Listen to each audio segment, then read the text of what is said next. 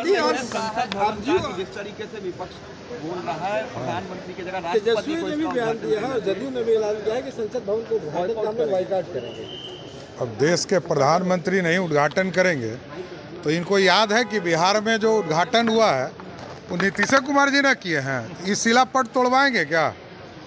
नीतीश कुमार जी ऐलान करे कि बिहार विधानसभा में जो शिलापट लगा है उसको तोड़वाएँगे तब मैं उनकी बात सुनने के लिए तैयार हूँ।